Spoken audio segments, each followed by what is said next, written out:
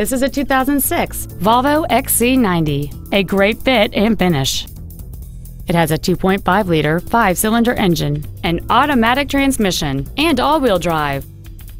Its top features include memory settings for the driver's seat's positions, so you can recall your favorite position with the push of one button, a sunroof, cruise control, a CD player, leather seats, a turbocharger, aluminum wheels, traction control and stability control systems, heated seats, and this vehicle has fewer than 50,000 miles on the odometer. Please call today to reserve this vehicle for a test drive.